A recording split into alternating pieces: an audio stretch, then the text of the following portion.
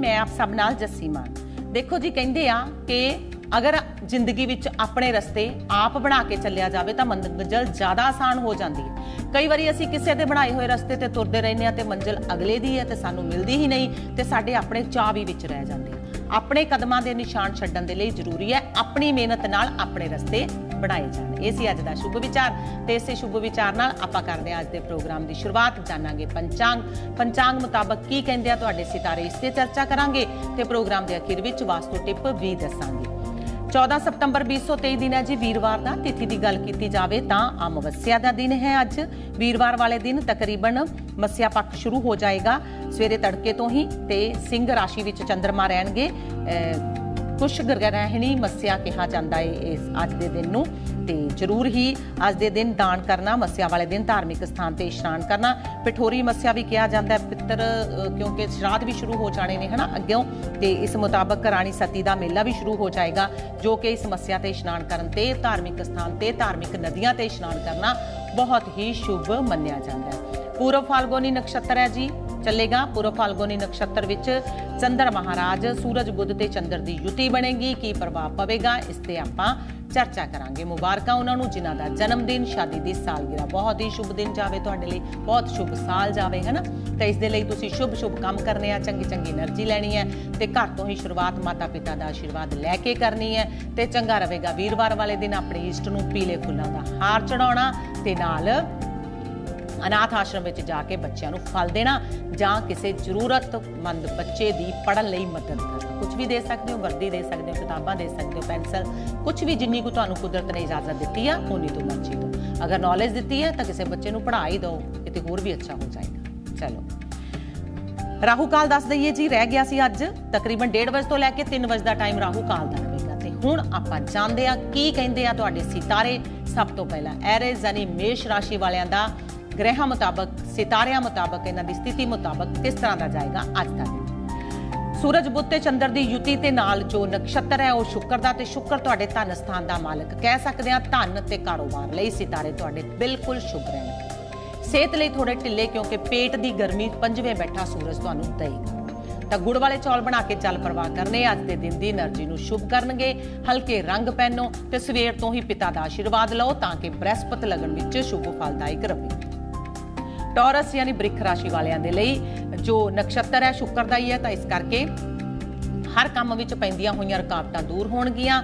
ਪਰਿਵਾਰ ਦਾ ਪੂਰਾ ਸਾਥ ਮਿਲੇਗਾ। ਪਰਿਵਾਰ ਨਾਲ ਟਾਈਮ ਸਪੈਂਡ ਕਰਨ ਤੇ એનર્ਜੀ ਸ਼ੁਭ ਤੇ ਸਰਕਲ ਦਾ ਸਾਥ ਮਿਲ ਜਾਏਗਾ। ਦੋਸਤ ਮਿੱਤਰਾਂ ਤੇ ਭਰੋਸਾ ਕਰਨਾ ਚਾਹੀਦਾ ਹੈ ਪਰ ਘਰ ਦੇ ਭੇਤ ਦੇਣੇ ਅੱਜ ਨੁਕਸਾਨ ਦੇ ਸਕਦੇ ਪ੍ਰੇਮ ਸੰਬੰਧਾਂ ਲਈ ਸਿਤਾਰੇ ਤੇ ਦਿਨ ਬੈਸਟ ਜਾਏਗਾ। ਕਰੀਮ ਕਲਰ ਪਹਿਨ ਸਕਦੇ ਜੈਮਿਨੀ ਜਾਨੀ ਮਿਥੁਨ ਰਾਸ਼ੀ ਵਾਲਿਆਂ ਦੇ ਲਈ ਜੋ ਨਕਸ਼ਤਰ ਹੈ, ਸ਼ੁੱਕਰ ਦਾ ਮਿੱਤਰ ਹੀ ਹੈ, ਪਰ ਥੋੜੀ ਬਹੁਤੀ ਖੱਜਲ ਖਵਾਰੀ ਹੋਣ ਤੋਂ ਬਾਅਦ ਹੀ ਕਹਿ ਸਕਦੇ ਆ ਆਪਾਂ ਸੁੱਖ ਮਿਲਦੇ ਆ, ਹੈਨਾ? ਤਾਂ ਥੋੜੀ ਖੱਜਲ ਖਵਾਰੀ ਹੋਣ ਤੋਂ ਬਾਅਦ ਹੀ ਚੰਗੇ ਪ੍ਰੋਫਿਟ ਚੰਗੀ ਆਮਦਨੀ ਦੀ ਆਸ ਤੁਸੀਂ ਕਰ ਸਕਦੇ ਹੋ। ਬੁੱਧ ਨੂੰ ਸ਼ੁਭ ਕਰਨ ਲਈ ਹਰਾ ਰੰਗ ਪਹਿਨੋ ਤੇ ਪੰਛੀਆਂ ਨੂੰ ਹਰੀ ਮੂੰਗੀ ਪਾਓ। ਧਾਰਮਿਕ ਸਥਾਨ ਤੇ ਨਹੀਂ ਜਾ ਸਕਦੇ ਤਾਂ ਘਰ ਵਿੱਚ ਪਾਣੀ ਵਿੱਚ ਗੰਗਾ ਜਲ ਪਾ ਕੇ ਇਸ਼ਨਾਨ ਕਰ ਲਓ। ਕੈਂਸਰ ਜਾਨੀ ਕਰਕ ਰਾਸ਼ੀ ਵਾਲੇ, ਕਰਕ ਰਾਸ਼ੀ ਵਾਲਿਆਂ ਦੇ ਲਈ ਸੂਰਜ, ਬੁੱਧ ਤੇ ਚੰਦਰ ਦੀ ਯੁਤੀ ਧਨ ਸਥਾਨ ਵਿੱਚ ਬਣੀ ਹੋਈ ਹੈ, ਜੋ ਧਨ ਕੰਮਕਾਰ ਕਾਰੋਬਾਰ ਲਈ ਤਾਂ ਠੀਕ ਹੈ, ਤੁਹਾਡੀ ਐਡਵਾਈਸ ਲਈ ਵੀ ਠੀਕ ਹੈ, ਹਰ ਕੋਈ ਤੁਹਾਡੀ ਐਡਵਾਈਸ ਲੈ ਰਿਹਾ ਹੈ ਤੇ ਉਸ ਮੁਤਾਬਕ ਚੱਲ ਵੀ ਰਿਹਾ ਹੈ। ਸ਼ੁੱਕਰ ਦਾ ਲਗਨ ਵਿੱਚ ਬੈਠਣਾ ਪਰਸਨੈਲਿਟੀ ਦਾ ਦੇ ਰਿਹਾ ਪਰ ਬਦਨਾਮੀ ਤੋਂ ਥੋੜਾ ਬਚ ਕੇ ਰਹਿਣਾ ਹੀ ਜ਼ਰੂਰੀ ਰਹੇਗਾ। ਕੋਈ ਇਹੋ ਜਿਹਾ ਕੰਮ ਨਹੀਂ ਜੋ ਤੁਸੀਂ ਨਹੀਂ ਕਰ ਸਕਦੇ। ਅਗਰ ਇਸ ਸੋਚ ਨਾਲ ਅੱਜ ਚੱਲਦੇ ਹੋ, ਤਾਂ ਸਮਝੋ ਸਫਲਤਾ ਤੁਹਾਨੂੰ ਡੈਫੀਨਿਟਲੀ ਮਿਲ ਜਾਏਗੀ ਮਸਟਰਡ ਜਾਂ ਪੀਲਾ ਰੰਗ ਪਹਿਨ ਸਕਦੇ ਹੋ। ਲਿਓ ਜਾਨੀ ਸਿੰਘ ਰਾਸ਼ੀ ਵਾਲਿਆਂ ਨੂੰ ਆਪਣੀ ਸਿਹਤ ਸੰਭਾਲਣੀ ਚਾਹੀਦੀ ਆ। ਜ਼ਿਆਦਾ ਪ੍ਰੋਫਿਟ ਦੇ ਲਈ ਕੋਈ ਨੁਕਸਾਨ ਵੀ ਹੋ ਸਕਦਾ ਹੈ, ਇਸ ਕਰਕੇ ਜਲਦਬਾਜ਼ੀ ਵਿੱਚ ਇਨਵੈਸਟਮੈਂਟ ਨਹੀਂ ਕਰਨੀ ਚਾਹੀਦੀ। ਸ਼ੁਕਰ ਦਾ ਨਕਸ਼ਤਰ ਮਿੱਤਰ ਨਹੀਂ ਹੈ, ਕਿਸੇ ਲਾਲਚ ਵਸ ਵਿੱਚ ਆ ਕੇ ਪੈਸਾ ਫਸ ਜਾਏਗਾ ਜਾਂ ਕਿਸੇ ਨੂੰ ਐਡਵਾਂਸ ਦਿੱਤਾ ਉਧਾਰ ਦੇ ਲੈਣ ਤੇ ਦੇਣ ਤੋਂ ਵੀ ਬਚਦੇ ਹੋ ਤੁਸੀਂ ਤਾਂ ਸਮਝੋ, ਦਿਨ ਤੁਹਾਡਾ ਬਿਲਕੁਲ ਬੈਸਟ ਜਾਏਗਾ। ਜਦੋਂ ਨਕਸ਼ਤਰ ਚੇਂਜ ਹੋ ਜਾਏਗਾ ਤਾਂ ਸਮਝ ਮੁਤਾਬਕ ਕੀਤੇ ਕੰਮ ਤੁਹਾਨੂੰ ਪੂਰੀ ਤਰ੍ਹਾਂ ਨਾਲ ਸਫਲਤਾ ਦੇ ਜਾਣਗੇ। ਧਿਆਨ ਰੱਖੋ, ਆਪਣੇ ਪਿਤਾ ਦੇ ਪੈਰੀ ਹੱਥ ਲਗਾ ਕੇ ਹੀ ਜਾਓ ਤਾਂ ਕਿ ਲਗਨ 'ਚ ਬੈਠੇ ਸੂਰਜ ਨੂੰ ਸ਼ੁਭ ਕਰ ਸਕੀਏ। ਵਰਗੋ ਜਾਨੀ ਕੰਨਿਆ ਰਾਸ਼ੀ ਵਾਲਿਆਂ ਦੇ ਲਈ ਅੱਜ ਦੇ ਦਿਨ ਜਾਮਨੀ ਕਲਰ ਲੱਕੀ ਰਹੇਗਾ।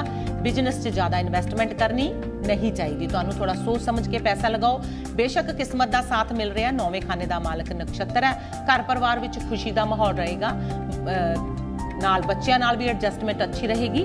ਵਿਦੇਸ਼ ਦੇ ਰਸਤੇ ਵੀ ਖੁੱਲਣਗੇ। ਪਰ ਜ਼ਿਆਦਾ ਬੋਲਣ ਤੇ ਘਰ ਦਾ ਮਾਹੌਲ ਖਰਾਬ ਹੋ ਸਕਦਾ ਹੈ। ਕੁਝ ਮੁੱਦਿਆਂ ਤੇ ਸਾਇਲੈਂਟ ਮੋਡ ਵਿੱਚ ਰਹਿਣਾ ਹੀ ਤੁਹਾਡੇ ਲਈ ਅੱਛਾ ਰਹੇਗਾ, ਕਿਉਂਕਿ ਮੰਗਲ ਲਗਨ ਵਿੱਚ ਹੈ, ਜੋ 8ਵੇਂ ਖਾਨੇ ਦਾ ਮਾਲਕ ਹੈ, ਜੋ ਥੋੜੀਆਂ ਪਰੇਸ਼ਾਨੀਆਂ ਵਕਤ ਤੋਂ ਪਹਿਲਾਂ ਤੁਹਾਨੂੰ ਗੱਲਬਾਤ ਕਰਨ ਤੇ ਹੋ ਸਕਦੀਆਂ ਨੇ।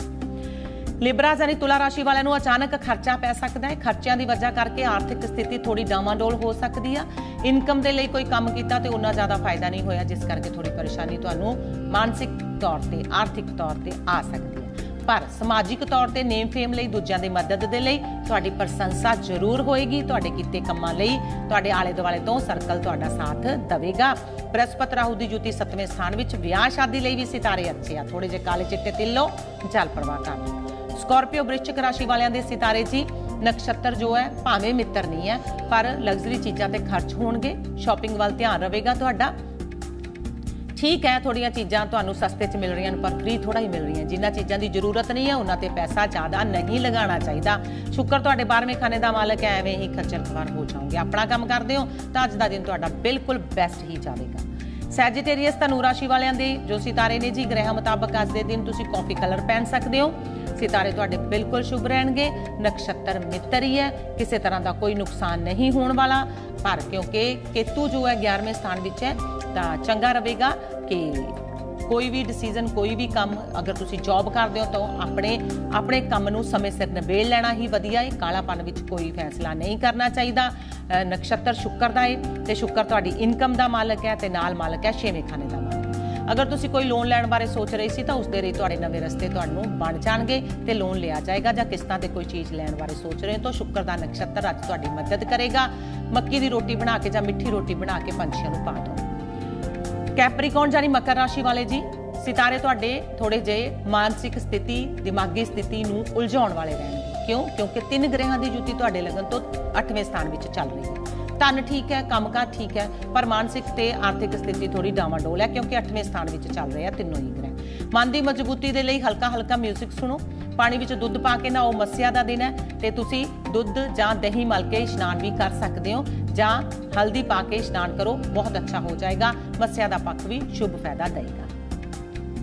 ਅਗਲੀ ਰਾਸ਼ੀ ਲੈਣੇ ਆਪਾਂ ਕਿਉਰਸ ਯਾਨੀ ਕੁੰਭ ਰਾਸ਼ੀ ਵਾਲਿਆਂ ਦੇ ਲਈ ਸੂਰਜ, ਬੁੱਧ, ਚੰਦਰ ਦੀ ਜੁਤੀ ਬਣੀ 7ਵੇਂ ਸਥਾਨ ਵਿੱਚ ਤੇ ਜੋ ਨਕਸ਼ਤਰ ਹੈ ਸ਼ੁਕਰ ਦਾ, ਉਹ ਵੀ ਮਿੱਤਰ ਹੀ ਹੈ। ਤਾਂ ਇਸ ਕਰਕੇ ਵਿਦੇਸ਼ ਯਾਤਰਾ ਲਈ ਸਿਤਾਰੇ ਤੁਹਾਡੇ ਹੋਏ ਸ਼ੁਭ।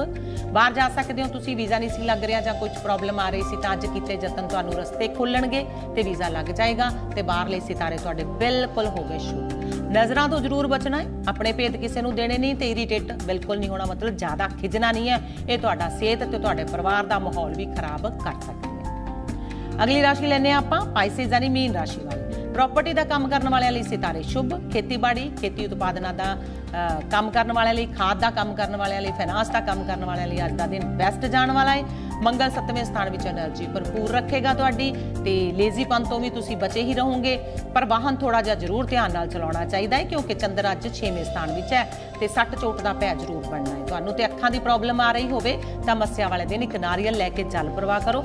ਅੱਛਾ ਹੋ ਜਾਏਗਾ ਕਿਉਂਕਿ ਮੱਸਿਆ ਦਾ ਪੱਖ ਕੱਲ 7:10 ਮਿੰਟ ਦਿਨ ਤੱਕ ਚੱਲੇਗਾ ਤਾਂ ਉਦੋਂ ਤੱਕ ਤੁਸੀਂ ਇਹ ਉਪਾਅ ਕਰ ਸਕਦੇ ਹੋ। ਇਹ ਸੀ ਜੀ ਤੁਹਾਡੇ ਸਿਤਾਰੇ ਗ੍ਰਹਿਾਂ ਮੁਤਾਬਕ ਕੀ ਪ੍ਰਭਾਵ ਪਾਉਂਦੇ ਆ, ਗ੍ਰਹਿ ਗੋਚਰ ਨਕਸ਼ਤਰ ਮੁਤਾਬਕ ਆਪਾਂ ਚਰਚਾ ਕੀਤੀ ਤੇ ਨਾਲ ਆਪਾਂ ਤੁਹਾਨੂੰ ਛੋਟੇ-ਛੋਟੇ ਜਿਹੇ ਉਪਾਅ ਵੀ ਦੱਸੇ। ਚਾਂਦੀ ਪਾਉਣਾ ਬਹੁਤ ਹੀ ਸ਼ੁਭਕਾਰੀ ਮੰਗਿਆ ਜਾਂਦਾ ਮੰਨਿਆ ਜਾਂਦਾ, ਚੰਦਰ ਸਹੀ ਹੋ ਜਾਂਦਾ, ਮਨ ਸਹੀ ਹੋ ਜਾਂਦਾ। ਅਗਰ ਤੁਸੀਂ ਬਾਹ ਵਿੱਚ ਚਾਂਦੀ ਪਾਉਂਦੇ ਹੋ ਤਾਂ ਸਮਝੋ ਚੰਦਰ ਤੀਜੇ ਦਾ ਫਲ ਤੁਹਾਨੂੰ ਮਿਲਣਾ ਸ਼ੁਰੂ ਹੋ ਜਾਂਦਾ। ਚਾਂਦੀ ਦਾ ਕੜਾ ਜਾਂ ਚਾਂਦੀ ਦਾ ਬ੍ਰੇਸਲੇਟ ਸੱਜੇ ਹੱਥ ਵਿੱਚ ਜ਼ਰੂਰ ਪਾ ਕੇ ਰੱਖਣਾ ਚਾਹੀਦਾ ਖਾਸ ਤੌਰ ਤੇ ਪੜਨ ਵਾਲੇ ਵਿਦਿਆਰਥੀਆਂ ਨੂੰ ਚੰਦਰ ਤੀਜੇ ਹੋਵੇ ਤਾਂ ਮਨ ਦੀ ਸਥਿਤੀ ਕਿੱਥੇ ਬੈਠਦੀ ਹੈ? ਪ੍ਰਾਕਰਮ ਸਥਾਨ ਵਿੱਚ ਬੈਠ ਜਾਂਦੀ ਹੈ। ਤਾਂ ਇਸ ਕਰਕੇ ਚਾਂਦੀ ਦਾ ਕੜਾ ਪਾਉਣ ਨਾਲ, ਚਾਂਦੀ ਦਾ ਟੁਕੜਾ ਆਪਣੇ ਕੋਲ ਰੱਖਣ ਤੇ ਚੰਦਰ ਦੀ એનર્ਜੀ ਸ਼ੁਭ ਹੋ ਜਾਂਦੀ ਆ। ਤੇ ਜਦੋਂ ਵੀ ਤੁਸੀਂ ਚੰਦਰ ਦੀ એનર્ਜੀ ਮੰਨ ਲਓ ਸ਼ੁਭ ਕਰ ਲਈ, ਤਾਂ ਤੁਹਾਡੇ ਸਿਤਾਰੇ ਤੇ ਤੁਹਾਡਾ ਮਨ ਦੋਨੋਂ ਹੀ ਸ਼ੁਭ ਹੋਣਾ ਸ਼ੁਰੂ ਹੋ ਜਾਂਦਾ ਹੈ ਇਸ ਕਰਕੇ ਚਾਂਦੀ ਦਾ ਕੜਾ ਸੱਚੇ ਹੱਥ ਵਿੱਚ ਜ਼ਰੂਰ ਪਹਿਨੋ, ਜੋ ਸਿਤਾਰਿਆਂ ਨੂੰ ਵੀ ਸਹੀ ਕਰਦਾ ਹੈ ਤੇ ਨਾਲ ਵਾਸਤੂ ਮੁਤਾਬਕ ਵੀ ਤੁਹਾਨੂੰ ਅੱਛੀ એનર્ਜੀ ਦਿੰਦਾ ਹੈ। ਇਹ ਸੀ ਜੀ ਵਾਸਤੂ ਟਿਪ, ਸਮਾਂ ਹੋ ਗਿਆ ਇਜਾਜ਼ਤ ਦਾ। ਆਪ ਸਭ ਦਾ ਅੱਜ ਦਾ ਦਿਨ ਬਹੁਤ ਅੱਛਾ ਜਾਵੇ। ਖੁਸ਼ ਰਹੋ, ਮੁਸਕਰਾਉਂਦੇ ਰਹੋ ਤੇ ਮਿਲਦੇ ਰਹੋ ਜੀ। ਇਜਾਜ਼ਤ, ਸਤਿ ਸ਼੍ਰੀ ਅਕਾਲ।